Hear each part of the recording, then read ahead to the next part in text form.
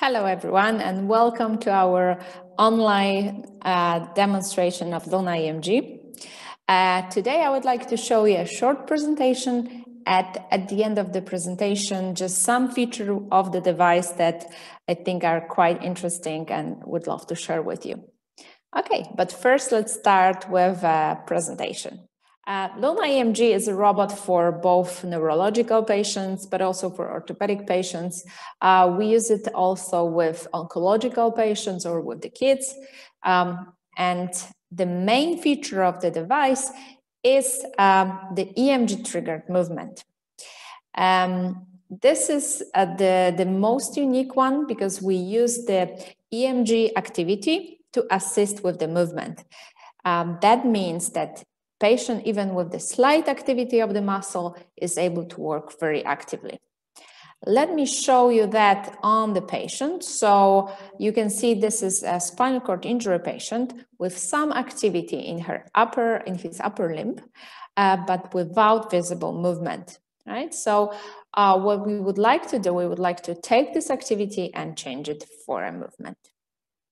And here's a patient working with the device. Uh, you can see we've put the electrodes on his biceps um, and on other uh, ones as well. But here we are using the EMG from the biceps. And wherever he is active, he's above the threshold line, we are able um, to, to see that activity on the screen and the device is helping with the movement if he is active enough. Um, good. And why this is so important? Um, this is important because only the active participation uh, contributes to significantly higher um, activation of the sensomotor network. And uh, this is uh, comparing to the passive movement. So we always want the patient to be active. And if there is no movement, sometimes this is just hard, right, to work that way. But here, this is possible. And um, with Luna, the active participation can be easily achieved and uh, the patient is able to move. And also why repetition matters. Um, the large dose uh, of practice um, may be required to uh, produce the lasting neural changes and to optimize motor control. And we've seen that on the device that, um, for example, if we work with the patient, uh, we're able to go with the shoulder extension, for example, um, 60 repetition during 10 minutes. This is possible with the flexion and extension of the shoulder. Um, and the study shows that it's usually around 32 repetitions per hour where we work with a stroke patient. So this amount of repetition might be not sufficient enough uh, to, um, to gain the, and the neural changes, to, to gain um, neuroplasticity changes. Um, yeah, and what else we are um, using as approach in our device? So uh, as I mentioned, the neuroplasticity, right? So through a lot of repetition of the same movement, we want to change um, the, the, the, the, neuroplasticity, we want to influence that. Um, and we want to also uh, work with our patients uh, through motor learning. So that's um, how we teach the patient, uh, where we show the patient how to contract and relax certain muscles. Um, then uh, the patient is actively learning how to perform the movement. And this is how we achieve the results even after one session with the patient, because then the motor learning is uh, occurring. Um, obviously, there are certain uh, indications uh, for to use the device, and there will be muscle force. It will be muscle coordination that we can improve, or range of motion that we can improve. This is all uh, possible with the device. Uh, there are assessment tools that we can work um, uh, with the patient and assess the range of motion, muscle force, uh, proprioception. This is all also included in the software. And um, there is um, uh, there are different uh, features out there. So as I mentioned already, the EMG assisted movement, uh, but there's also passive movement. There's only, for example, uh, EMG biofeedback that you can also use with your patient, and or different kind of resistance exercises. And as I mentioned before, there are some assessment tools that you can use with your patient. Uh, there are different extensions uh, to work with the upper limb, the lower limb, the steering wheel. This is something also that I can hopefully show you live. Uh, we can work with the lower um, limb as well. So uh, as you can see, the device is not only working with, with a certain uh, limb, but it's actually, you can work with the whole body, right? So, so with the upper limb, with the lower limb, with trunk, you can use EMG uh, electrodes to work with different kind of uh, muscles. For example, even with the, the facial muscle. So this is uh, something that you can use as well. Um, we uh, try to work uh, by ourselves with patients as well, just to gain a lot of experience ourselves. And for example, we had this stroke patient here uh, that had a frozen shoulder and it was very painful. And he was working uh, twice, three times per week with the device for an hour. And we've been working on a lot of things, but one of them was the uh, shoulder extension and flexion and shoulder abduction and adduction, right? So here are examples on how he was working with the device. So here was the passive movement, but also he was working with the EMG activity, with some resistance exercises. This is all what's going on here during the sessions. And uh, you can see the, uh, the difference. Um, this is before two, two months of working with Luna and after two months. And uh, we were kind of comparing how the, the range of motion has changed because again, there was a lot of pain out there and um, the patient has issues with, with flexing or, and abducting the, the limb. There was still, uh, there's still a lot of things to work with, but there was uh, improvement out there definitely.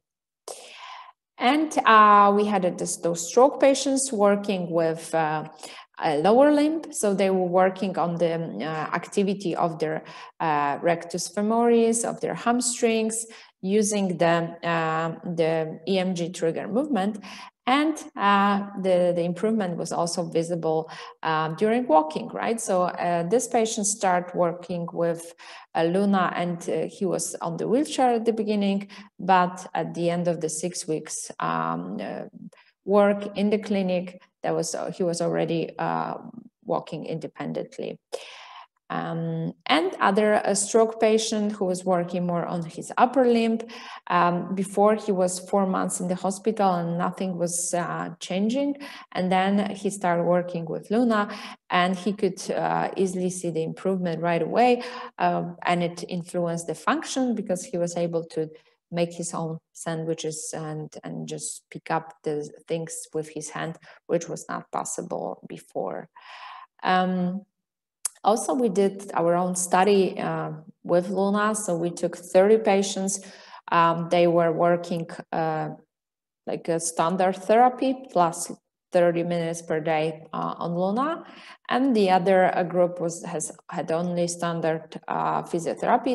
The, the amount of time between those groups were what was the same, um, and what we've noticed after six weeks um, that there was an increase of the tight um, circumference and a higher decrease in spasticity over time. So this is something you also ask a lot about like, what about the spasticity? Can I work with the device where there is spasticity? And yes, you can do that. And plus that it will decrease the spasticity, right? So you can see on the uh, graph here how the control group, there was also improvement in terms of spasticity, but the robot group uh, was way better in that term. Uh, we've been working with Guillain-Barré syndrome. And uh, for example, here a lot with the foot drop. The patient was very excited uh, that he improved during four week time. Uh, you can check out our YouTube videos in, in, regards to those patients that I'm mentioning here. Um, and really was uh, happy that the, the, the rehabilitation went uh, so quickly in this good direction. So um, Luna could work with this kind of patient as well. Um, we have the uh, experience with spinal cord injury patients. Um, they, this is um, a patient that um, had a car accident And when she was working with the device, she could really understand better how she should uh, contract, relax her muscles. Um, here you have her uh, already after three months of working with the device. So she was able to already hold a limb and control it, right? And uh, so she was working with the device in the lying position. So the electrodes here, you can see they were placed on her hamstrings. And uh, she was uh, also looking at herself in the mirror just to have the additional feedback on how she is actually working uh, with her lower limb. And uh, also she's been, uh, she has been working in sitting position with electrodes on the uh, rectus femoris. Yes, so um, after another period of, of working with the device and with, with some standard therapy as well, she was able already to make a movement, to control that uh, movement, to even hold it in some positions when we ask, you know, go, hold, right? So because uh, there was uh, some motor learning and neuroplasticity processes that took place. And obviously also the increase of strength, range of motion, muscle coordination, and it all influenced her everyday life. Uh, we had patients with the uh, Duchenne muscle dystrophy, so kids working with the device where we have games. You know, this is exciting. So, uh, yeah, kids kids love the the working with the with the feedback on the screen. And also I mentioned already there are some assessment. For example, it's always better to use the um, objective tool to see if there is, for example, some activity in the upper limb. So the patient that we've seen at the beginning of the presentation, he um, had activity in, her, in his muscles, um, but uh, the mm, he, he was also assessed with the subjective measurements like the MRC scale um, and it was assessed with the zero point, for example, for his triceps or pronator teres. And on the EMG, we could clearly see that there was some nice activity that he was able to control. So, um, you know, just to be more precise, this is always better to use some additional tools to see if we are assessing the patient right.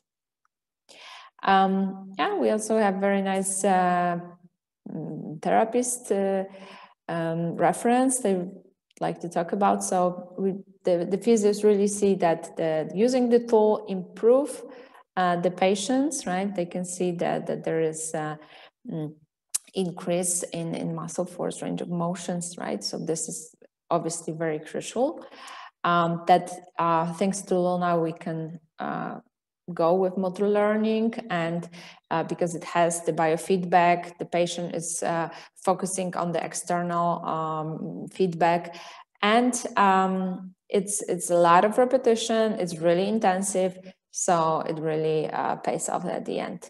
Um, we are not making mistakes while assessing the patients and this is also uh, very important and uh, you know the, the, the way of using the device right that there has a lot of options that you can use with different extension working in different joints um, using different therapy tools uh, but assessment tools as well uh, makes it kind of like a you know swiss knife that you can work uh, with with your patient. And on the other hand it's not uh, you know the price is really competitive um, in comparison to other systems on the market is, is really, really okay.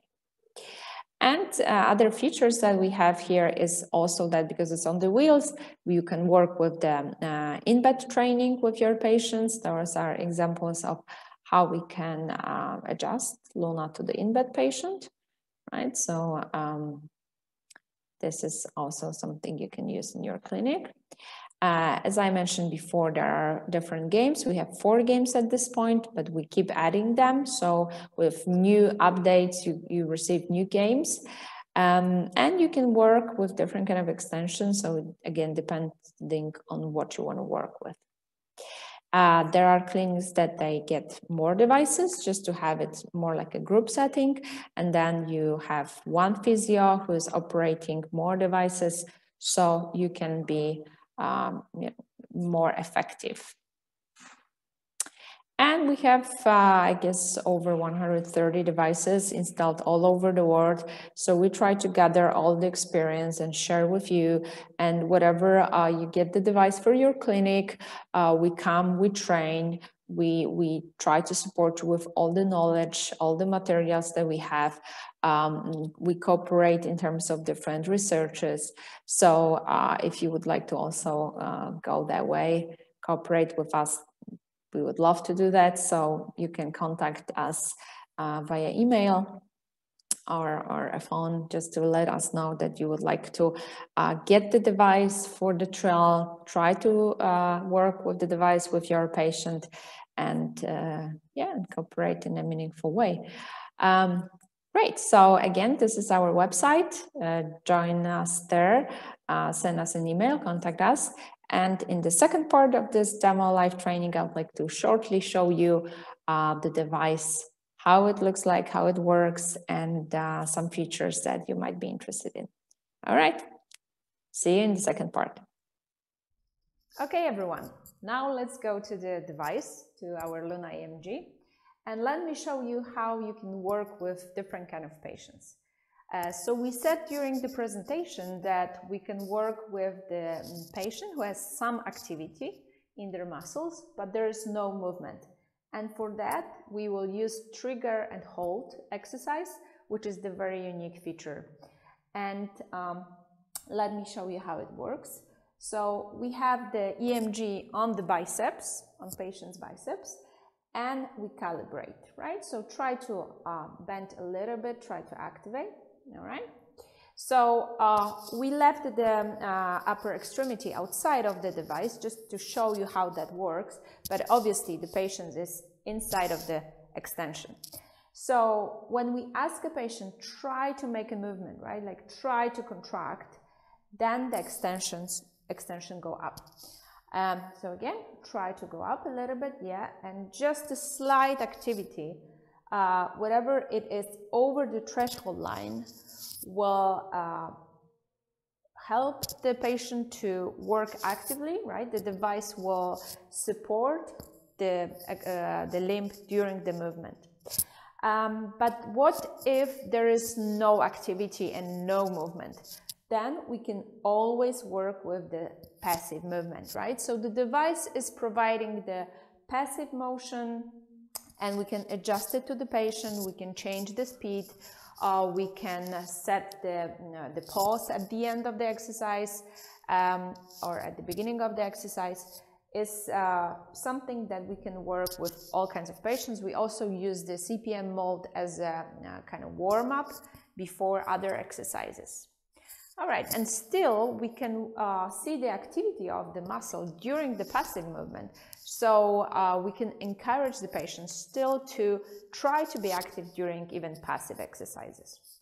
Okay, and what if the patient has the activity, has the movement, uh, but we would like to work on his uh, strength? Uh, we can choose uh, out of different um, exercises with different kind of resistance. Uh, for example, we have also this kind of uh, exercise, you can slide into the extension, um, where we have to, um, you know, just fulfill this very easy task that the patient needs to go to the uh, blue square and stay there for, for example, two seconds, a little bit up. Yeah. And then uh, again, the find another uh, target, right? The target is changing. Um, so this is a very easy exercise even for the stroke patient who has sometimes uh, troubles to understand different kind of games, for example. So this exercise is perfect and the resistance will adjust um, depending on the speed of uh, the patient movement and we can, uh, we can work with, with our patient to increase the strength, we can uh, work to increase the proprioception. Great. And you also ask, is it hard to, you know, adjust the patient, um, how to change the extension? This is uh, quite a quick process. So um, let's uh, take out the, the hand from the extension. So what we do, we just um, uh, set the extension to the vertical position and we slide out the extension. So that will be first step. And the second step is to obviously put a different extension. Uh, for example, here we have the steering wheel. So we just kind of like slide in and that's it. And you're ready to go. Uh, with the uh, steering wheel extension, you can work on your trunk or on the patient trunk or on the upper limb in a more functional way. So um, where we are using this kind of extension, uh, we can choose, for example, some games. We have uh, four games in the Luna device. Okay, let's slide a little bit like this. We can set the range of motion to work with our patient. And uh, we can choose out of four games. So let's choose the bubbles. And meantime, when our patient is working with the game, hopefully you can see that on the screen as well, let me tell you a little bit about other extensions that we can use with our patients. So if the patient has some, uh, for example, foot drop, that we can adjust the uh, foot extension and work with the patient on the, on the foot drop using um, also the passive mode, the EMG triggered movement um, or the resistance exercises or even games, up to us. Um, there is a very, very nice extension for the shoulder. Uh, with that one, you can work on the flexion or on the abduction, adduction, depending on your patient needs. This is very crucial that the you know, patient, um, we adjust to the patient, not the other way around. So that means that we don't have to think, is my patient good for that device? We just adjust the patient to the device. Um, we also have the lower limb extension that we most of the time work with the knee in a sitting position or in, uh, in the lying position. That would be this one. Um, and also a very nice uh, extension for uh, pronation supination that we can work with our device. Um, also, we always ask about what if the patient has no grip.